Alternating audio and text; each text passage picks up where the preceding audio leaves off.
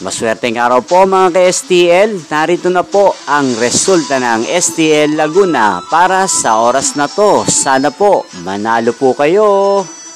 Para po sa STL Laguna.